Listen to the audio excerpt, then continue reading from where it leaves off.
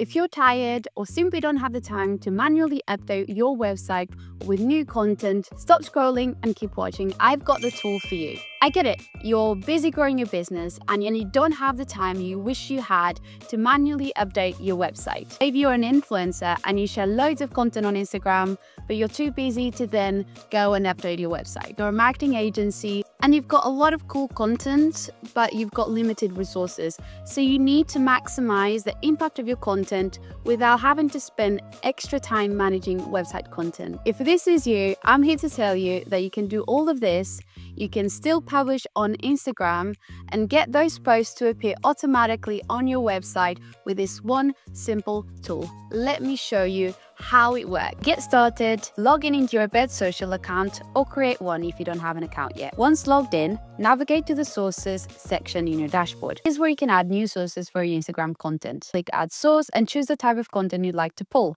Mention posts, hashtags, your feed, stories. For this tutorial, we're going to select feed. Connect your Instagram account and you'll be prompted to log in to Instagram and grant permission to share data.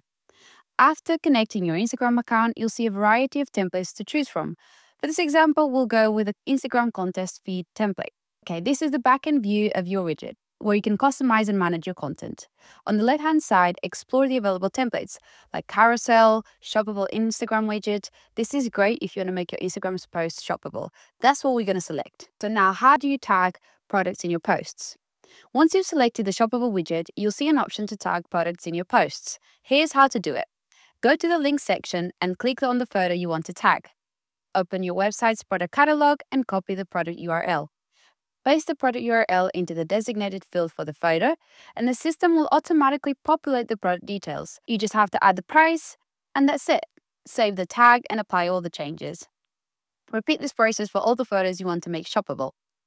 Once you've tagged your products, make sure to save your work. Return to the editor to preview how your shoppable feed will look. The left-hand menu, click Embed and copy the provided code. Paste the code into your website's HTML where you want the feed to appear. And that's it. Customers can now browse your feed and shop directly from your Instagram posts without you having to spend any time manually updating your website. And you can try Embed Feed seven days free of charge so you can see how it transforms your website. In our next video, we'll show you how you can embed Instagram hashtags. So this is if you're running any special campaigns with your followers directly on your Instagram.